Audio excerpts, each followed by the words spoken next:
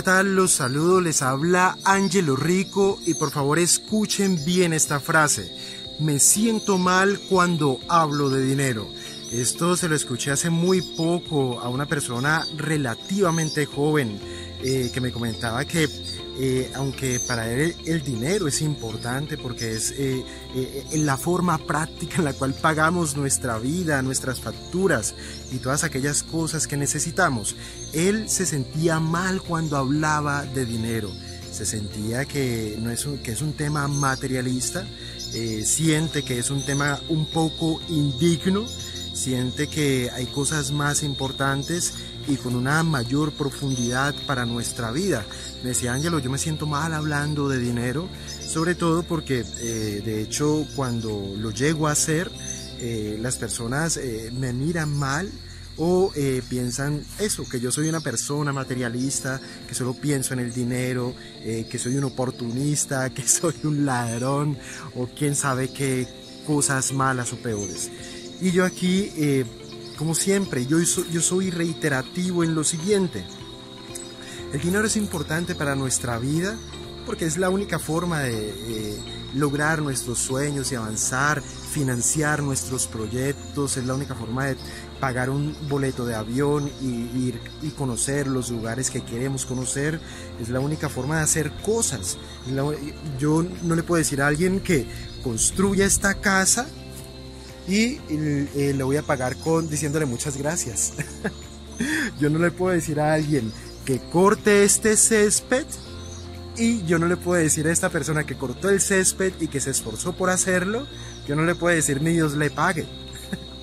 yo no le puedo decir a alguien si se daña esta lámpara, yo no, le, yo no le puedo decir después de que esta persona la arregle, yo no le puedo sonreír y decirle muchas gracias porque sería muy descarado de mi parte, ¿cierto? Yo creo que eh, todos merecemos ganar en función de lo que aportamos a la sociedad.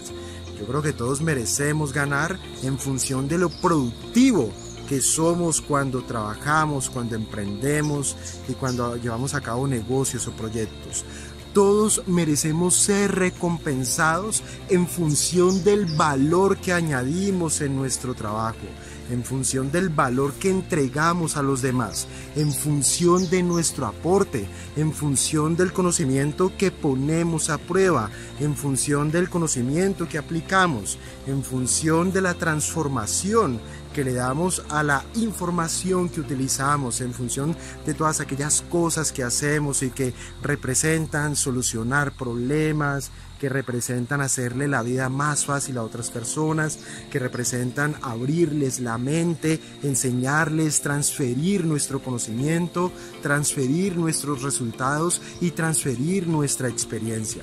Cuando nosotros desarrollamos mentalidad empresarial, eh, se convierte en algo completamente natural facturar y nos sentimos felices cada vez que facturamos y cada vez que crecemos la facturación nos sentimos más felices y más felices y más felices.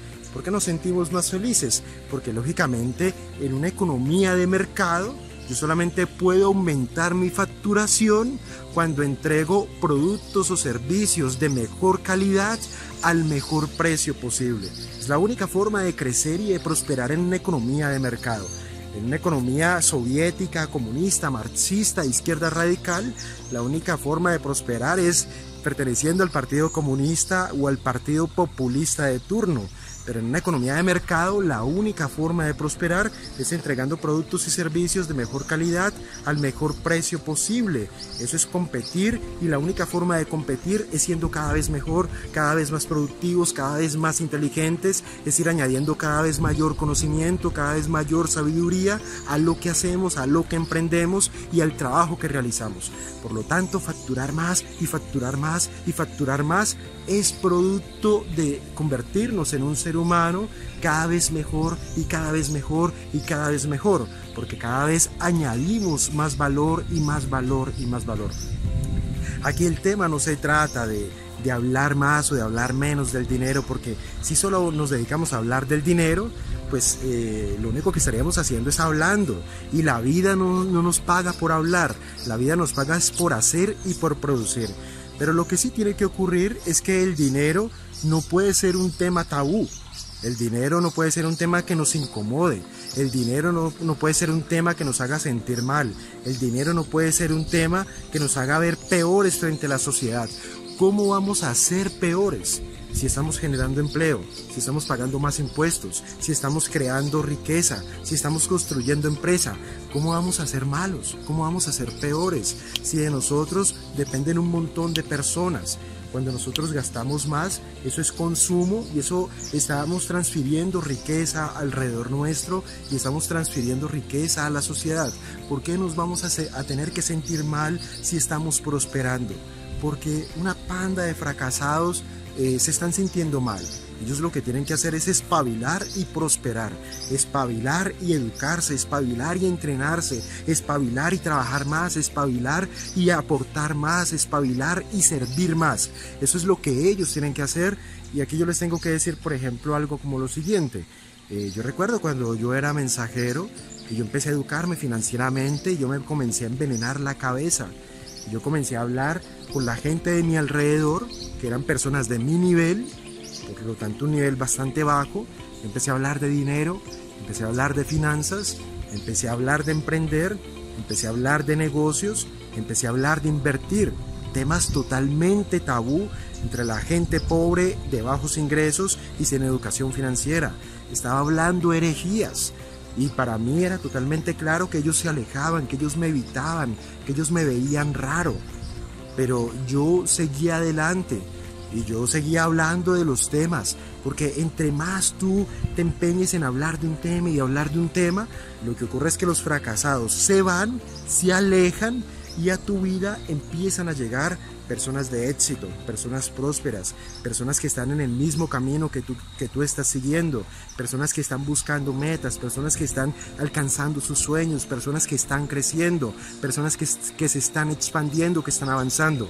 Entonces eso, cuando yo empecé a notar eso, que las personas que no aportaban nada a mi vida, por lo menos nada que fuera bueno, cuando yo empecé a notar que esas personas sí alejaban, y que al mismo tiempo las personas que necesitaban mi vida, que aportaban valor, que me servían de mentores, que, que me permitían crecer mi pensamiento, mejorar mi mentalidad, cuando comencé a observar que lo que yo estaba hablando estaba provocando esos cambios que muchas veces eran sutiles y que otras veces eran muy evidentes, pues yo comencé a hablar más y más y más y más y más de esto, más de dinero, más de negocios, más de inversiones. Por lo tanto me comencé a convertir en una persona más sofisticada, con un lenguaje más sofisticado, que comprendía cómo funcionaba la economía, cómo funcionaban las finanzas, que, funciona, que comprendía mejor cómo funciona la vida. Entonces allí es cuando te das cuenta que tú estás en lo correcto y que ellos están equivocados, pero que al mismo tiempo ellos que están equivocados, ellos no van a cambiar y tú no los puedes cambiar y tú no, no los vas a cambiar y no es tu objetivo cambiar a nadie. Eh, no nos debe dar miedo emprender, no nos debe dar miedo prosperar, no nos debe apenar avanzar, no nos debe, no nos debe dar pena con nuestros familiares, con nuestros amigos, con nuestros colegas y con todas aquellas personas que por culpa de ellos mismos o por cualquier otra situación se estén quedando rezagadas. Tenemos que seguir en nuestro tema, tenemos que seguir avanzando en el conocimiento, tenemos que seguir prosperando. El día de mañana todas estas personas que ahora te miran raro, el día de mañana ellos te estarán pidiendo empleo, te estarán entregando hojas de vida, te estarán poniendo como ejemplo, estarán diciendo cómo te conocieron cuando tú estabas abajo, estarán diciendo cómo te conocieron cuando tú eras niño, cuando tú eras joven, cuando tú eras estudiante, cuando tú trabajaste con ellos. Y lo estarán diciendo, estarán contando esa historia de manera orgullosa y ellos te estarán poniendo de ejemplo y tú estarás sin quererlo incluso provocando cambios en ellos. No nos debe dar miedo hablar del dinero. El dinero únicamente está con aquellos que lo respetan, con aquellos que lo valoran, con aquellos que lo cuidan, con aquellos que aprenden cómo multiplicarlo, con aquellos que aprenden cómo crecerlo y con aquellos que no se apenan de tenerlo a su lado cerca, porque es la única forma de blindar a sus familias, es la única forma de tener un mejor estilo de vida, es la única forma de avanzar en nuestros sueños, de financiar nuestros proyectos y de financiar nuestros emprendimientos. Las cosas buenas de la vida no se pagan con muchas gracias solamente. Las cosas buenas de la vida no se pagan diciendo que mi Dios le pague. Las cosas buenas de la vida no se pagan con buenas intenciones. Las cosas buenas de la vida no se pagan sencillamente dándose golpes de pecho haciéndose la víctima. Yo creo que las personas con educación financiera eso ya lo tienen completamente claro.